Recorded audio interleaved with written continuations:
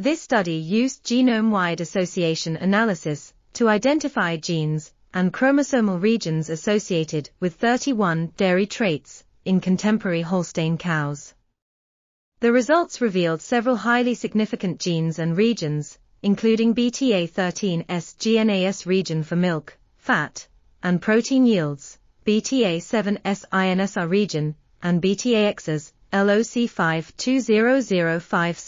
and GIA3 for daughter pregnancy rate, somatic cell score, and productive life, and BTA18S 53.9 to 58.7 megabits region for service sire, and daughter calving ease and service sire stillbirth. The study also identified genes and regions associated with body conformation, udder, teat, and feet, legs traits. These findings provide valuable information for annotating phenotypic effects on the dairy genome and building consensus of dairy QTL effects. This article was authored by Van Tassell Curtis P., Crooker Brian A., Lawlor Thomas J., and others. We are RTCL.TV, links in the description below.